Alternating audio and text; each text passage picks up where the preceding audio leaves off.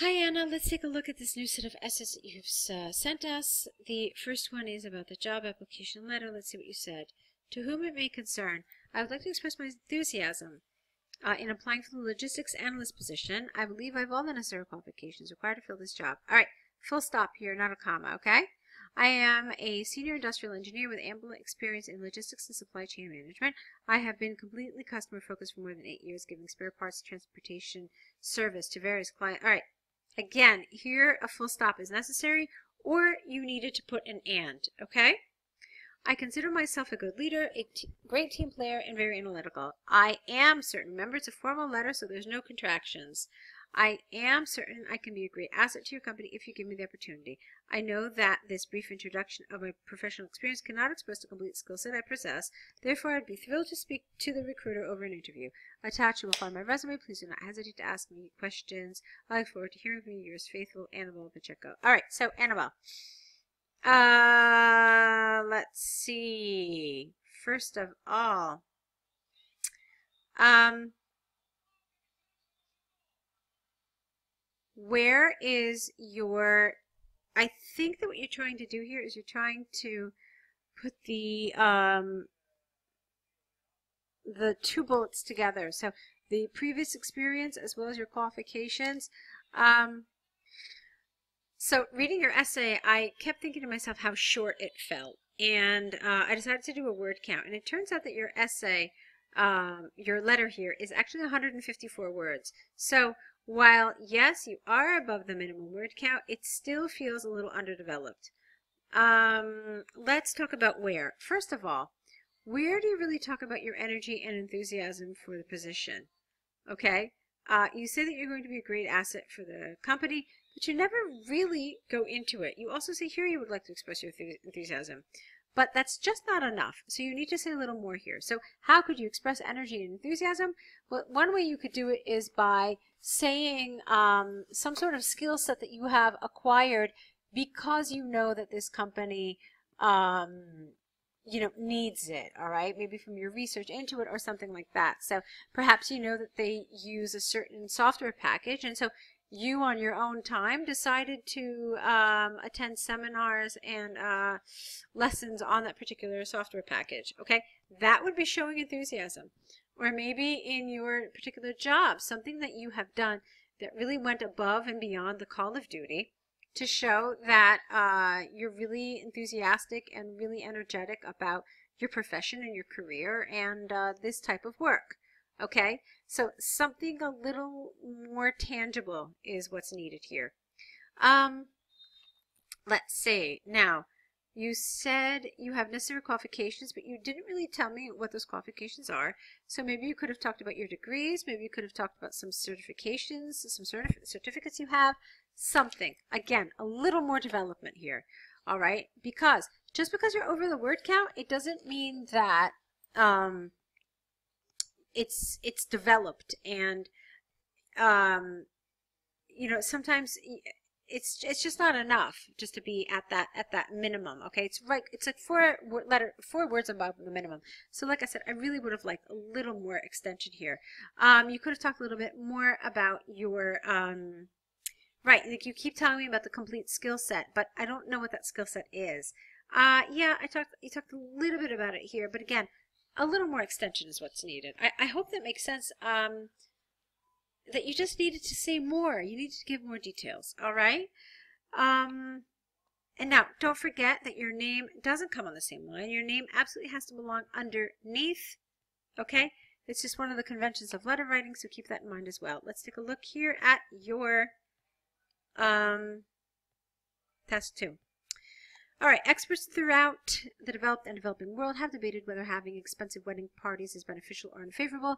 Some believe that paying a large amount of money will assure, ensure, I think you want, ensure the best event. Personally, I strongly disagree. This essay will argue two points of view, using examples from the UK government and Boston University to demonstrate and prove arguments. All right, uh, on the one hand, there is ample evidence that everything involving the planning of a wedding is extremely expensive. However, some people do not mind spending a lot of money and actually believe it is Worth it. Remember, no contractions. The central reason behind this is twofold. Firstly, couples consider this day the most important in their lives. Secondly, given that the guests are special for the couple, it is crucial for them to offer the best food, music, place, and beverages. For example, recent empirical research by the UK government demonstrated that 80% of all married couples who went over budget do not regret it, and instead they still remember this day as the best day of their lives. Therefore, it is exclusively clear that spending large amounts of money is not a priority. Is not a priority? I'm not sure I understand that. Okay. Um, for most couples. We'll talk about that in a minute. On the other hand, although it is a one-time experience, the impacts of the costs can drag on for a long time. This is largely because many couples end up asking for bank loans that are very difficult to pay. For example, an extensive study by Oxford University showed that 4 out of 10 married couples finished their debt two years after the event. Thus, it is possible to state beyond doubt that you should not spend more than what you can afford. To conclude from the arguments and examples given, I firmly believe that even though having an expensive wedding party might seem like the best option, there are many other alternatives that can fit into your budget and still allow you to have a great event without having to get into debt.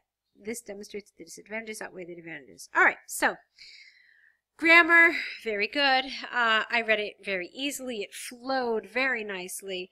Um, so no problems there. Um, this was very clear. This was clear as well. Um, so it's it's fine. Um, the areas that I have a problem with, the areas that I have a problem with are your body paragraphs um, for a couple of reasons. First of all, Look at what it says. Do the benefits, plural, outweigh the disadvantages, plural? So you have to ask yourself, how many benefits did you really give, and how many disadvantages did you really give? Um, it looks like you did give two advantages here in this paragraph, but here clearly you only had one disadvantage. All right, so uh, an examiner is going to look at that and think that it's underdeveloped because you only gave a disadvantage, not disadvantages. All right, so that's the first thing. Uh, it's a short little paragraph, so again, it needed extension. You needed to say more for sure. Now, as far as your advantages are concerned, um, this is a problem that a lot of people have been having with this essay. I felt like what you expressed as benefits of spending a lot of money are actually reasons why people spend a lot of money. So what, do, what am I trying to say? Um, I'm going to spend a lot of money because I want this. Okay? But the benefit to spending a lot of money is I spent a lot of money and as a result, I gained this. Okay? So it's different. Uh, the, the, the framing of it is different. So let's see, like here, for example, um, it's most important day in their lives. Um, I wanted you to put your support for this directly after. Not firstly this, secondly this, and then your support. After each main idea, your support goes there, okay? Um, so you said it's the most important day of their lives. What does that mean? So, um, let's see.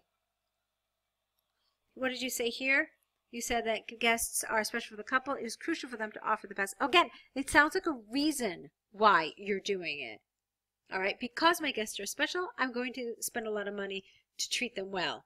All right, but a benefit would be that um, the guests themselves feel honored and they feel uh, more supportive of the couple and their marriage because they themselves feel that they were respected and honored uh, because the couple spent a lot of money on them.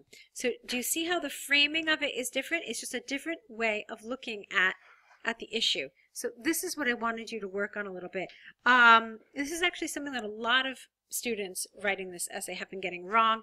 They frame it incorrectly, talking more about the spending of money um, and making it a reason, the things that the couple wants as reasons, and not really talking about the benefits. So what is gained in general, both for the couple, maybe for their family, maybe for their friends, or maybe even for the wedding industry. This is something that I find very few people have been talking about that there's a whole industry behind this and um, you know jobs are supported and people's livelihoods are supported through this industry okay so those are some things that I want you to keep in mind. Um, go ahead and correct these essays return them back to us corrected and let's see what you write in your next set. All right good luck